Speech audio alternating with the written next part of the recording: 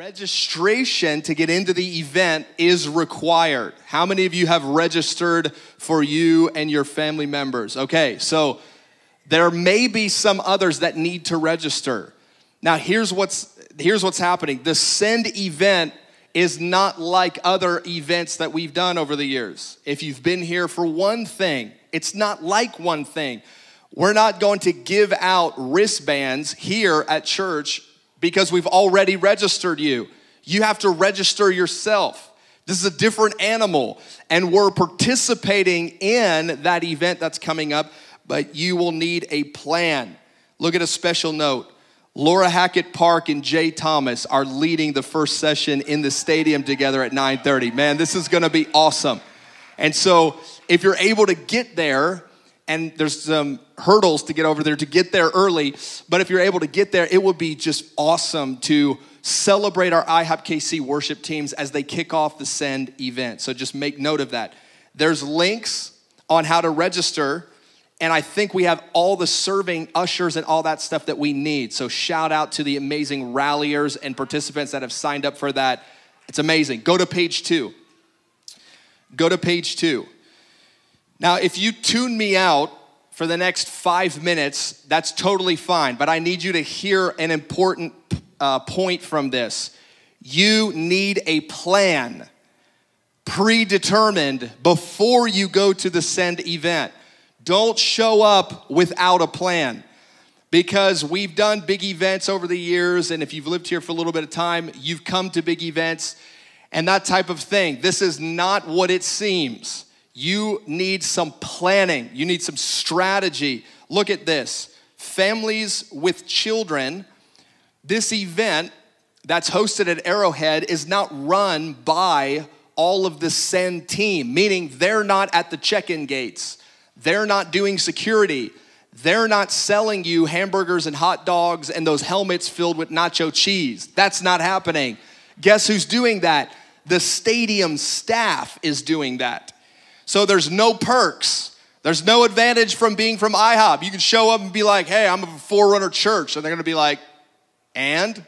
And so that doesn't work there. Hey, just let me sneak in with my kids because we didn't register online, but you know, we know Mike Bickle. Like, they're gonna look at you with a blank stare and they're gonna be like, leave the premises now. Anyway, I don't know what they'll say. But, anyways, the point is, you can't just show up. You have to have a plan. You've got to be intentional and you've got a couple weeks to get ready. Look at this families with children, it is realistic that you would only do a portion of this whole event. It's a long event, it's probably gonna be hot. And we want you to know, especially families with children, but others as well, folks that are older in their senior, well aged years. If you're only there for a couple hours and you're like, hey, I gotta head out, nobody's gonna be judging you in their hearts, like, wow, you know, they're kind of backslidden, I guess. You already believe this stuff. That's why you're here. That's why you moved all the way here to Grandview. Some of you left like Hawaii to come to Grandview. You left California. And we all get it. We're gonna look at you and be like, awesome. You know, they came at all. That's amazing. So, no guilt, no shame. Come and do a couple hours. The event's gonna be streamed online as well, but it's just understood that you believe these promises and that you're awesome. Paragraph B parking at the event costs 20 bucks. A lot of people didn't know that. I didn't know that. You also have to purchase your parking pass in advance. I didn't know that. You can't just roll up to the gate and be like, one for parking. They're gonna be like, what are you talking about? You have to buy it in, in advance. That's the important thing that you need to know. There's the link. Paragraph C, this is important. Doors open at 9 a.m. on the day of the event, which is May 14th. We know the doors are opening at 9. Worship, if you remember Jay and Lorley, starts at 9:30. So 30 minutes. Now here's the thing that you're not taking into account.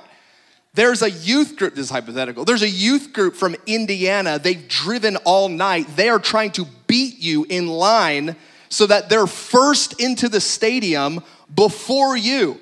They're looking at you. You've got your kids, you've got, you know, your umbrella stroller like we were just talking about. They don't care that you're there. They're trying to get there before you in every way. They're trying to literally beat you in. This is the premiere of the send, you know, da da da da.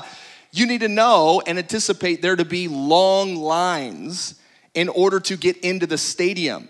Now, their gates are really big, so it might go quickly, but you might be in line, I don't know, 30 minutes, an hour. I don't know. People are crazy. They line up at 6 a.m.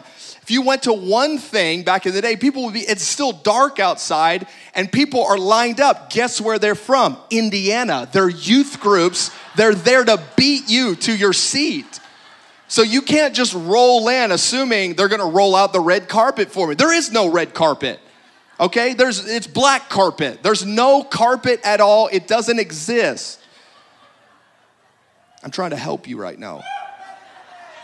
Okay, look at this. Paragraph D, general admission. When you register, you get the whole stadium open to you. Ah. Bad news, you get the whole stadium open to you. People are going to be flooding in, flooding down to the front, getting areas where there's shade because there's limited shade areas. It's probably gonna be hot or it might rain. We don't know. And so they're going to be flooding into the stadium trying to beat you to whatever area that you're going to. The field, the field passes, now they released a link that said if you've already registered, you can sit down on the field. That's full. It filled up in like a couple hours. 8,000 people will be on the field. There's that's where the grass is. That's where Mahomes, Mahomes plays and sweats. Now, full disclosure, when we were there the other day, we got down, we smelled the ground. I don't know what we were smelling for. It's awkward to admit, but it happened, okay? Because we were there. It was like a moment. So, anyways, now that I got that off my chest, anyways, the field is full. You might be like, oh, bummer. Here's the downside to the field no chairs. There are no chairs. You can't bring a lawn chair. They're not gonna let you bring a lawn chair. You can't, there's no chairs on the field. You're gonna be standing or sitting in the grass the entire event in the direct sun, no shade. So cool, it's the field, but if you're like me, I want a chair. It's a 12 hour event. I'm sitting in a chair, part of it, you know, whatever. I got a bum leg. Okay, let's keep going here. Paragraph E there's no re entry into the stadium on your ticket if you leave and go out the gates. So halfway through, you're like, oh, yeah, let's just go grab some Taco Bell and then come back in. Not gonna happen. It's not gonna happen. You're not gonna trick the ticketing agent guys at the door. Why? They don't care if you're there or not. They don't care. They get paid the same amount, whether they let people in or keep people out. It's all the same, okay? So you can't do that. Paragraph F, big one. There's no cash accepted in the stadium. They don't like the green river. They're, they're not about the greenbacks, okay? They're about plastic, cards, Apple Pay, technology. Some of you are shaking right now. Yes. You can't bring cash into the well, you can bring cash, but it's not going to do anything for you. Paragraph G on the stadium website, there's a list of prohibited and permitted items. Things like strollers are not permitted. That's a big bummer if you've got one of those triple double wide, we had those, like those jogger strollers, okay? You're trying to roll in with that. You're running two coolers deep. You've got ham sandwiches, quinoa salad, and Capri Suns to feed 10,000. Guess what they're gonna do? They're gonna tell you to go put it back somewhere else. They don't care how far away you parked. They don't care how hot it is outside. They're not going to let you in. You need a plan. Look at this. Paragraph number two no bags are allowed. You can't bring in a backpack. You can't bring in your cinch bag with a cool, like, you know, hologram cross on it that you got at youth camp. It doesn't work. They're not gonna let it in. They only let one kind of bag in a boring, clear zip bag. Okay, look at this gallon zip bags. You can search Amazon for NFL approved plastic bags. They have the dimensions listed. If your bag's bigger than that, they might, you, you have to take this out. That's, that's a bummer. That's a major bummer. So you need to plan ahead. I ordered our bags this morning on Amazon. Thank you. I'm giving one to mom and dad. Okay.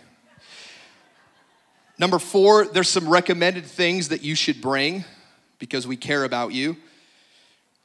Number, uh, look down at paragraph H food. This is big, this is huge. All food and beverage is prohibited at the stadium. You didn't know that. I didn't know that.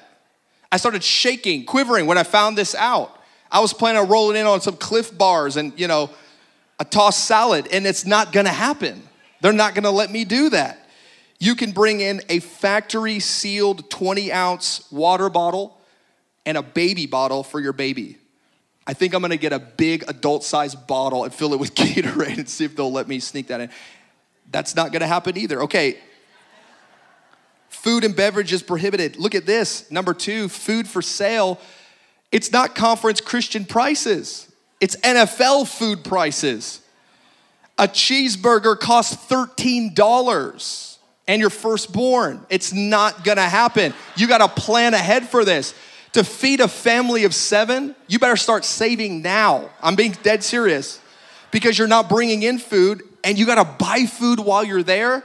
And they're like, "What do you want?" But like, "Well, I, you know, I want the day and night priest order with the discount from IHOP KC." They're like, "What do you? What in the world? Security? Hey, come here, get this guy out of here. I don't know what's going. on. He's holding up my line."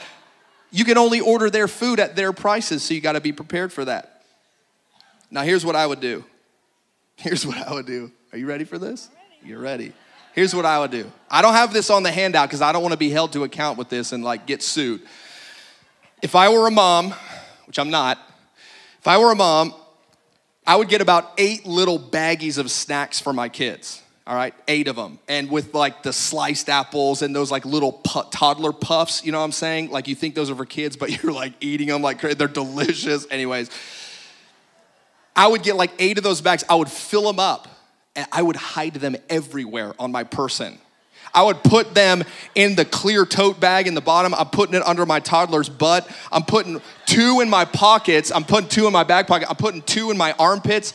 Everybody's coming in. I've, they've got their factory sealed water bottle. Everybody's walking like this because they have so much food hidden on their person. Because here's the thing I expect them to find two, three, four of the bags, confiscate them, scold me like TSA or something, like, how dare you? You know, whatever. They ain't gonna find them all, baby.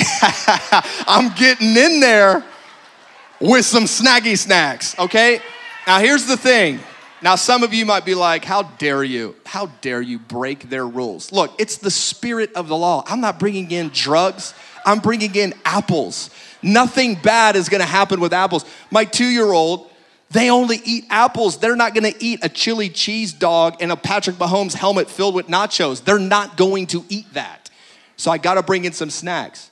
I've been to a few NFL games and a few, you know, Major League Baseball games, whatever, and they don't find everything. I'm just being totally honest with you guys right now. And don't act like you don't do it at the movie theater anyway. They're like, Sir, would you like some drinks on the way in? You're like, I'm good. Your whole body's crinkling like a Cheeto bag. They know what you have. You know what you have.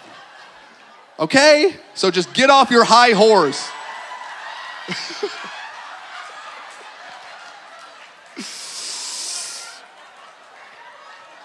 All right.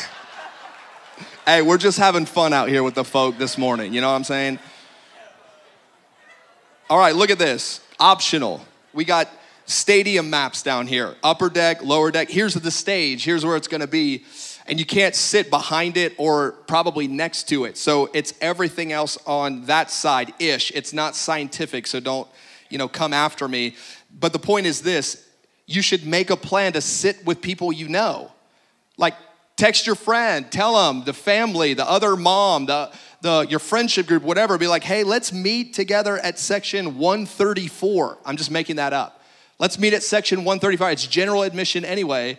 And we'll just meet there and try and sit together to do the event together. But there's not gonna be like a, a whole reserved section for like Forerunner Church or IHOP or prayer movement. There's like, like a big section like people that pray. That's not, that doesn't exist there. Okay, so make a plan make a rally point have like a little meeting area. This, this just came to me. Have like a little meeting area for your kids if people get separated or you and your spouse like we're going to meet at the t-mobile gate or something like that where you can have a rally point for friends or family or whatever. But the big point is you need a plan. Morgan help us Spoonful of sugar helps the medicine go down. This right? is medicine. well, this is just a real thing with real dynamics. And as I started looking, and our team started looking at what it means to go into the stadium, we're like, this is hard. Well, it's not impossible, it's just more challenging without a plan. So you got to have a plan. No, this is good. This is super helpful. I think a couple other helpful things knowing that if it rains, you can bring an umbrella, but guess what? You can't actually open the umbrella. One of the weirdest rules I've ever had. Sure, you can bring an umbrella. You just can't open that. Can't joker. open. All right, so maybe bring a poncho instead of an umbrella if it's going to be raining. You can bring a blanket with you. So if you have small kids, you could bring like a small, you know, little blanket and have them lay on the ground. They're going to need a nap at some point, or if they need to play with their toys, you know, stadiums aren't really clean. So moms with little kids, you know, bring a blanket and let the kids like play on the floor. I love the idea of gathering with friends or a couple people. You can team up. Team up. You can trade off. You can say, hey, take my kids for the next hour, or can you keep an eye on them? Like, I want to engage in this part of the service and then trade off. Say, I'll take your kids for the next hour and I'll go take them Here's around what I'm for a gonna walk. do. I'm gonna say, babe, I'll be right back. And I'm gonna go down to the front and I'm gonna act like I get slain in the spirit so that your shift is two hours, but my shift's only one hour. Is that a good plan? You can do that. You're the best. I'll find another friend. Oh man. okay. okay. All right, we're done. Thank you for listening to this extended announcement. We hope that you've been blessed, challenged, mildly offended.